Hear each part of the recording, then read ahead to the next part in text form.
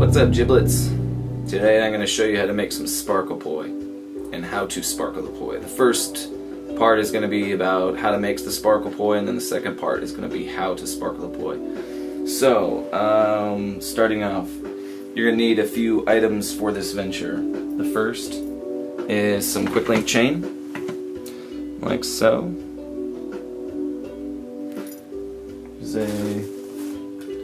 Quarter for size. I'm not sure the name of this type of chain, but any old chain will do. And when I bought it and I brought it back, I counted a certain amount. So I think it's, let's see, one, two, three, four, five, six, seven, eight. Lucky number eight. That's the uh, amount of connections or connectors, individual pieces of chain you want. So you want two of those.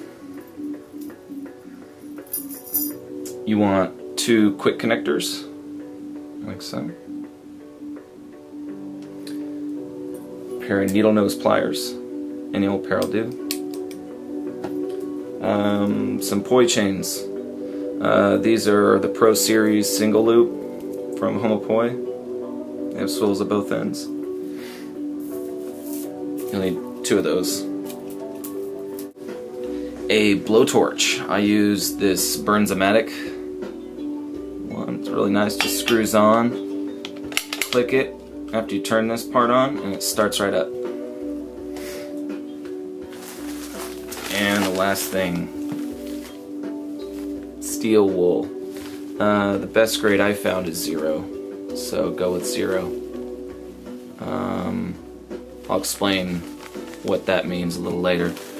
So step one, grab needle nose pliers, grab one chain, grab one poi handle, and a quick connector. Put the quick connector on, like so. Then you're gonna slide this part on as well. So it should look like that. Then right now, just so this doesn't fall off, go ahead and tighten that down. Grab one of your uh, steel wool, needle nose pliers, and what you're going to do is find the center as much as you can. Okay, find that center, and you're going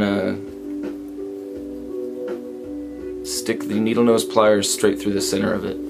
Some of them are hard, you gotta kind of twist, and you want to maintain, stay in the middle of it. It helps to put your finger on the end like that, wrap your hands around it. Just keep twisting, twisting. Kind of open it up if you may. And then you'll see it starts coming out the top. And then once it comes out the top like that, you open the needle nose pliers a little bit. Take your chain, grab it, okay, and then you slide this down right about there. Okay, that's one. You do the same thing for two more.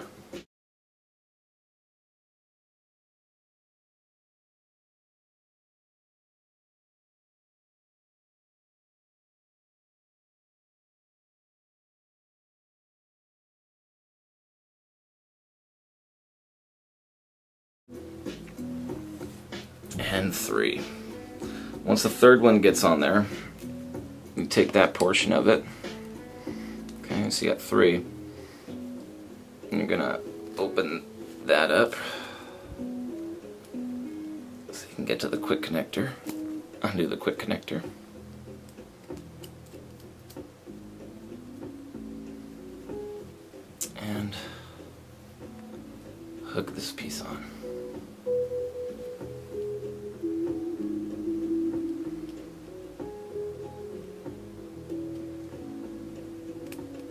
sometimes some steel wool gets stuck in the threading, so be careful. You want it to be able to screw all the way down. Make sure it's nice and hand tightened.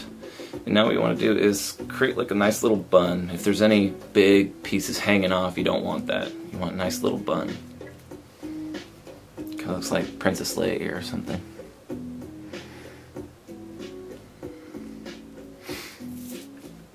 And that's it.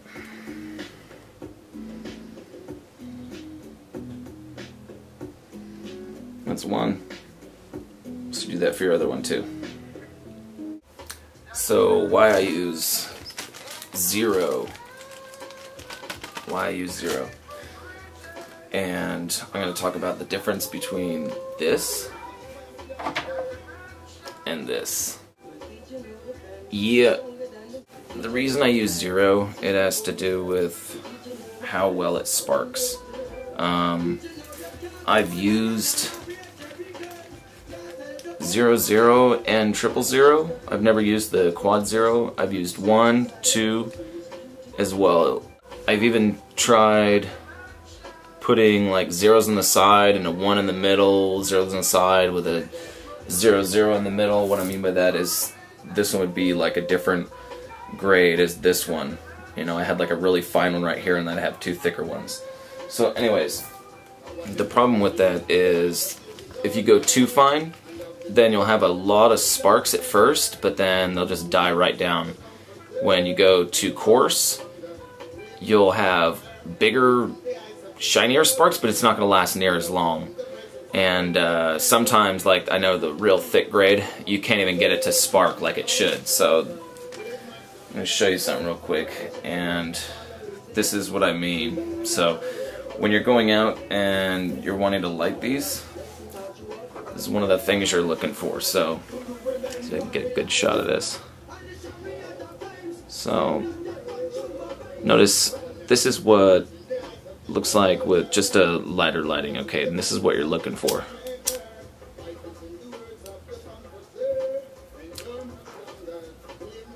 See that? Okay. That hurt. um, once that gets going, it just keeps going, going, going, and it stays there for a while. Now, I don't use a lighter because it only lights like a small area like that. Whereas this lights a huge, huge surface area of it, okay? Which is a lot better to get it start going.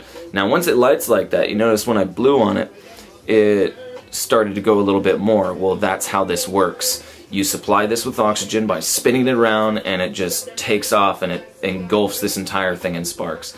Now remember the chain that's underneath, okay? That chain that we wrapped it around? Towards the end of spinning these things, hit them on the ground, okay? When you hit them on the ground, it's gonna get all the excess steel wool off of the chain because if you don't hit them on the ground then you're going to have melted steel wool on the chain and when you're done you're going to be sitting there with needle nose pliers trying to get all this excess steel wool that didn't burn away off. So if you hit them on the ground it sprays the rest of the sparks off and it's also a really cool effect. You'll get like a neat shower of sparks that time. So that is why I use zero grade and the difference between a lighter and a torch. Also, a torch burns at about 2,000 degrees, whereas a lighter is only about 600 to 1,000. So, a lot more heat you got with this thing. Another good plus is it has a flat base, so you can light this thing. Let me show you real quick what it looks like. Just hear that? Okay. Once you light that, you can just set it on the ground and it stays there and you can come up to it and light your, your sparkle poi and go straight into it and not have to worry about putting out your lighter or anything. I've never damaged this thing from sparkle poi, so. These right here, I don't normally wear these when I perform this stunt, although I highly, highly recommend them. Highly, highly recommend them. This stuff, if it were to get in your eye, mmm, no bueno, no good, no good at all. Very dangerous. This is the worst injury I've ever had from Sparkle Poi. You see the scar right there. And it was when I was spinning them like this, and it came around and clipped me in the shoulder right there. Just grazed me, and it did that. So I've ruined a pair of shorts as well and uh, don't do this in sandals, do it in a nice pair of shoes, or even barefoot.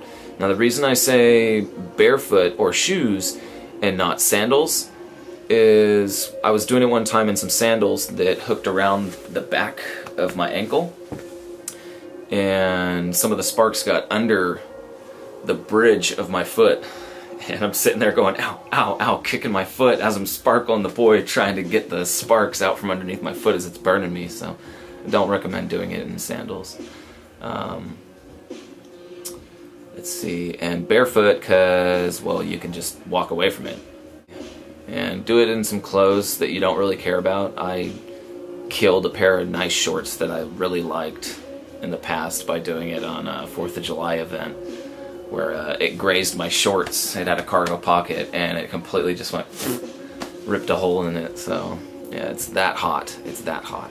A lot hotter than any other uh, fire prop I play with or that I know of. So this is definitely my favorite prop effect. So enjoy it. Um, have fun with it. Be very safe. I'm gonna. Next thing I'm gonna show you is how to sparkle the poi and where to sparkle the poi. Good. This is how we uh, sparkle the poi. Got my burner back there. Got my sparkle poi. Safety glasses set. So you have to know some movements. You gotta know how to do a three beat weave forward and possibly reverse. I would just say a three beat weave, forward or reverse. Okay, so what you want to do is get them started like you saw in the room, except outside of course. And once they get sparking nice and good, all you need to do is throw this one over to the other plane. This one follows it, and that's your three beat weave. You just start into it. So you light right here, throw this one on top, and then continue like that.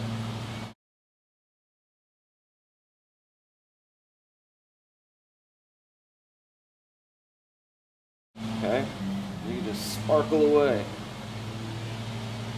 Now you want to make sure your planes are flat, okay? Because if you turn like that, you're going to throw sparks at people who are watching you. So don't let that happen. Now I turn and mid midway through this, meaning I start going here. And I'll show you an example of this too. I'll start here, and then I bring them to my sides, and then I turn, and then I spin them even faster reason I do that is because in reverse spin, for me anyways, I can spin faster like this, but in forward spin, I can spin faster and keep my timing. Does that make sense? So I can spin faster and forward, three beat weave, split time, and keep the, the timing split, as opposed to spinning backwards, split time. Whereas, see how kind of, if I spin really fast, it just ends up going the same time. I don't know why. Ugh, I can only go so fast in reverse though. So that's the reason I turn into reverse. And as well, the reason I turn into reverse, that's when you hit them on the ground, okay? When the sparks start dying down, that's when you're gonna smack them on the ground until all the excess is off of them. That's it. Oh, So that's how to sparkle the poi. Now I'm going to show you where to sparkle the poi. Okay guys, where to sparkle the poi. I'm going to give you a little measurement estimate. See that end of that driveway right there where it curves up? Okay. Mark that right there, the end of that driveway. All the way to the end of that driveway right there. Okay, where, that mailbox is. So from that mailbox to basically there you are, right where the white mailbox is pointing up at the top right there, the end of that driveway. Okay, so from the end of that driveway right on the top of the white mailbox where that mailbox is. That's how much room you need. It's approximately about like uh, 150 feet, 160, close to 200 you want anywhere from 150 to 200 feet lengthwise. Okay? Now, you would, of course, perform right in the middle of that. And in front and back of you, you probably want about 30 to 40 feet. Okay, sparks are still going to get away. That's just uh, the nature of the beast. You're going to have sparks get away on you. So be as careful as you can. Also, um, I've also heard of one other method. This is just one method that I know of for sparkle poi. I know of a method where you can take a bunch of chicken wire and bend it with pliers or whatnot into a big giant sphere.